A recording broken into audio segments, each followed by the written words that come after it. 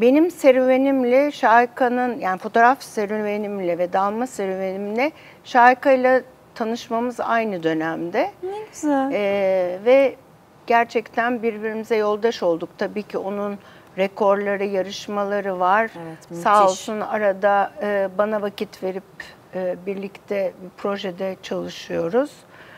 Ama gerçekten onun bazen balık olduğunu da düşünüyorum açıkçası. Deniz kızlarına inanır mısınız? Deniz kızlarına inanıyorum. Ben de inanıyorum.